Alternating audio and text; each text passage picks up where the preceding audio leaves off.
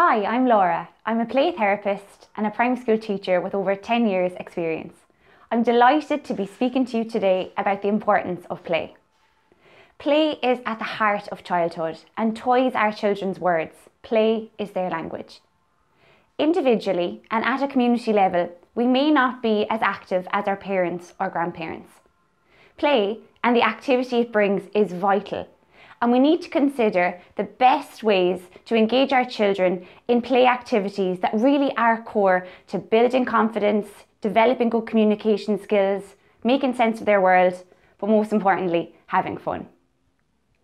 Whether you're a mum, dad, aunt, uncle, grandparent, teacher, or educator, we all have times when we want to purchase that gift that can really have a positive impact on that special child in our lives.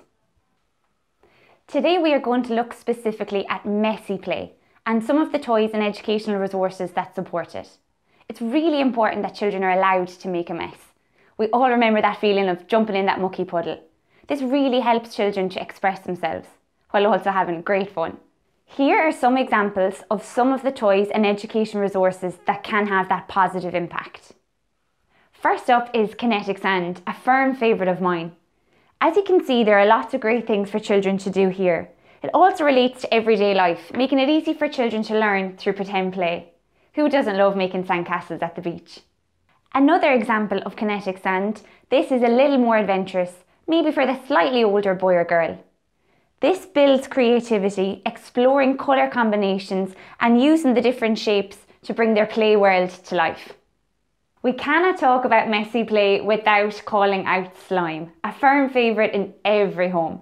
This example, Elmer's starter pack, has all the gooey, glittery, colourful slime he needs that can entice every child to play. Well, it was great fun talking to you today about play and getting to show you all of the great toys and resources that Stakelums have. I look forward to talking more play with you soon.